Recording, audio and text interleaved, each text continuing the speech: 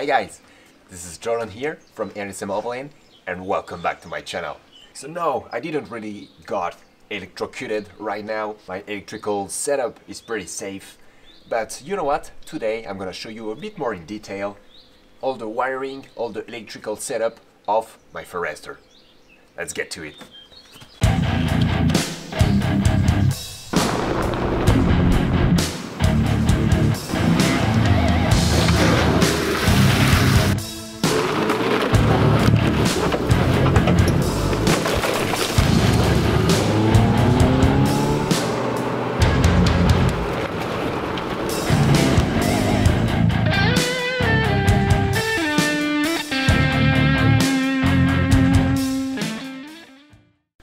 So when I really think about it, actually my electrical setup is not that complicated. It's pretty simple, pretty easy to do by yourself you, if you want pretty much the same system. And we're gonna start here on the engine bay. Okay, so what do we have here? First of all, the battery. This is my main battery, which is a 63 amps per hour, which is a pretty small one, and that's because I also have a pretty small petrol engine. You're directly gonna notice here along the fender a relay and an inline fuse. So that is actually the harness for my light bar. I really wanted something totally independent to the original harness of the car because most of the time you end up with problems if you touch the harness of your car. So independent wiring directly hooked up to the main battery for the light bar. That goes all the way along the fender.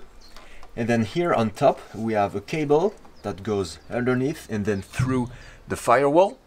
That goes in there on my dashboard. That's for the switch. And then another cable that goes all the way up along the windshield and then directly connected to the light bar here you're gonna notice this pretty big cable that goes inside this gray plastic pipe that goes all the way along the firewall and then on the other side through the firewall. And that is actually for my dual battery system because yep, I have a second aux battery on the back. Also, the alternator is obviously the stock one and so far so good, it does the job pretty well even with two batteries. So we went directly to the back of the Forester because this is where things get interesting. Because I have in there my aux battery, my dual battery system, and behind me my electrical control panel. I'm gonna show you that a little bit more in details. So usually I have a big drawer up there, but for the video I removed it because all the interesting stuff are actually underneath. I made this little trap door here so my aux battery can still be accessible. I can change it, I can replace the fuse or I can just have a quick visual check on it. Speaking of this aux battery, this is a 80 amps per hour deep cycle one. So it's really made for an aux battery actually. Alright, so I'm not a professional electrician or anything like that, but when I did a few research on internet when I wanted to make this dual battery system, I heard a lot that the capacity of your aux battery shouldn't be bigger or smaller than your main battery. From what I read, once again, I think my aux battery here is actually a bit too big compared to my main battery. But so far I didn't have any problem and actually 80 amps per hour for a aux battery it's I think the minimum. It's a very small battery. So as you can see there are a lot of stuff directly wired to the battery and I think this is a limit and I should really consider here installing a fuse box for a cleaner and safer install. But Actually, it's not that a mess. I have all my fuse here and another one here, so I know which one is for and I don't have any issues with it. And behind this aux battery, what you can see here is actually a big solenoid. And the big black cable you see here that is directly connected to it is the one you saw on the gray big pipe on the engine bay that goes all the way through the Forester. And that's because this solenoid is actually the thing that's gonna link or unlink my main and my aux battery. It's actually part of a T-Max dual battery system kit I just bought and installed on my car. It was pretty straightforward. I've made a video about it, you should check it out. And the beauty of this kit is that it's a smart dual battery system. So which means I don't have to think about it. I'm never gonna forget to unlink, unlink my two batteries and I won't have any problem at all. Because this little monitor here is gonna take care of everything. So basically when the main battery is at its full voltage, it's gonna link the two and then charge the aux battery in the same time. Pretty simple. And when I stop the car, it's gonna automatically unlink the two batteries. I also have this little button here that allows me to connect the two batteries. So that could be nice if one day my alternator fails, I can start my car in the morning because my main battery is dead. So what I can do is link my two batteries and actually use my aux battery to start the car. It's also a voltage indicator so I can see the charge of both of my batteries. And I think you figure it out. This is my electrical panel control. So this is basically where everything electricity related happen. So we got there a few plugs. We got on the top two 12 volt lighter plugs. This one actually is for my fridge, which is should be just here and plugged 24 7. And this one is more for accessories. Usually it's for my air compressor. Underneath, we got two USB ports that are very useful for my camera batteries. And here we got three different switches that are actually not connected to anything. I just put them here so they're nicely prepared if I want to add something else to my electrical setup. And here I got the last plug which I added pretty much recently. I've made a video about it. This is a SAE connector and this is for my solar panel. Because yep, I have a 100 watt solar panel I can plug directly here and it's actually gonna charge my aux battery or at least keep it in charge if there is any sun. So that's pretty useful, especially if you stay a few days at the same camp spot without driving. And the beauty of it with this smart dual battery system is that when my aux battery is gonna be fully charged, the two batteries are gonna be linked automatically and then the solar panel is gonna charge my main battery as well.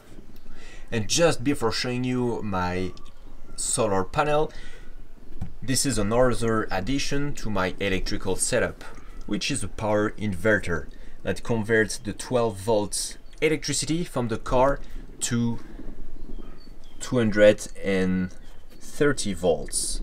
And I obviously have an on and off switches here. The only problem with it is that it's not a pure sinus wave inverter.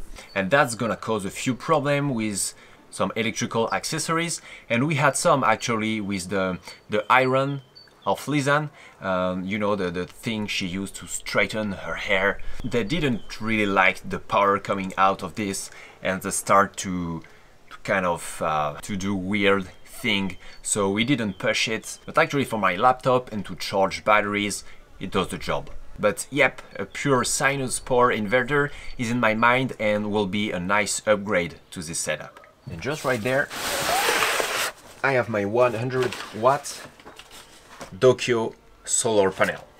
So it's a foldable one. So basically I just have to unfold it, putting straight on the sun. Then it comes with a controller. You connect up there. And then I have this big cable going to the controller to my electrical panel control. It's pretty simple, pretty straightforward and as I said, really useful when you spend a couple of days at the same camp spot. And you know what? Actually, that's it. That's my overland electrical setup.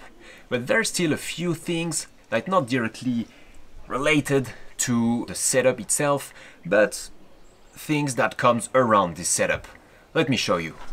Here, just above my electrical control panel system, I have this little dump pouch fitted to my MOLLE racks and in it I keep all my cables, all my, wait, it's empty right now, but in here I put the charger of my laptop. In here I put the charger for my battery cameras and that's it's pretty useful. I can nicely store everything in there and it's directly accessible to use on the control panel. Okay, and another thing I wanted to show you is this little bad boy here. So this is a 12 volt lighter plug with two USB ports. It's from Anker got it on Amazon. I'm probably gonna put the link down below in the description. And the beauty of it, with this and good quality USB cable, the speed charge of my phone, which is a Huawei P30 Pro, works. And that's absolutely awesome. And another thing that is pretty awesome is that on long drive or if we are out on the trails, I can put my phone here on the dash with the map, the GPS and the 4G internet, everything. And my phone is gonna still keep the charge. And th that's absolutely awesome. With my old setup, after a few hours of drive, uh, the battery of my phone was dead. And it's not the case anymore, and I'm very glad about it. So for a quick recap at the end of this video, we can say that my setup is made of six different things. The first one is the harness connected to the main battery for my light bar. The other one is my T-Max dual battery system, which is a kit, but if you're a bit more uh, an electrician than me, I think you can put it together by yourself. Then obviously I have my aux battery, I have my electrical control panel, my power inverter, and I recently added my 100 watt solar panel. So this is a pretty complete, but at the end simple setup. I really didn't touch the original harness of the Forester and this is something uh, you shouldn't do and something I really didn't wanted to do. So actually everything is independent and that keeps me away from a ton of troubles. So the point of this video was obviously to show you a bit more in details my electrical setup. I really hope I did the, job on that, but also to show you that if you're confident enough, you can do it by yourself. It's not as difficult as you may think. Also that is not actually that expensive. I'm gonna put the links, I'm gonna try to put the links of everything down below in the description so you can make a total of it and at the end it's not that expensive when you see the price of those portable generators. Also, I wanted to show you that even in a small vehicle like the Forester, you can nicely fit and integrated um, a 12 volt system, which is simple, easy to use, and efficient as well. Okay, so that's it for today's video. I don't know if you really noticed, but slowly but surely, I make detailed video about everything on my setup. So I made one about my roof rack, I made one about my schnorkel. More recently, I made one about my suspension and lift kit setup. And today it was the electrical setup. Hopefully the one about tires and wheels will come soon. So, if you like this video, please subscribe to my channel. You can also check my Instagram account, my Facebook page, and my merch store. And if you want to support me in another way, I also have a Patreon page. By the way, hi and thanks to all my Patreons. Thank you guys for watching. See you next week.